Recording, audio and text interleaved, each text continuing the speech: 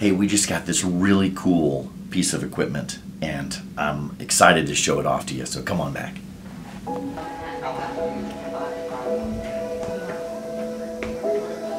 So it looks like a, an ordinary dental light, but it does so much more, okay? This has not only regular lights, it also has, you know, the little color that goes over your light so that things don't, dental materials don't cure so fast.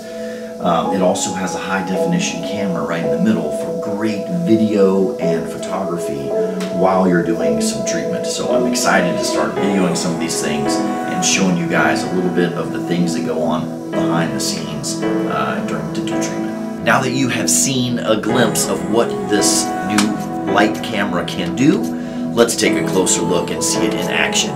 Cue the B-roll.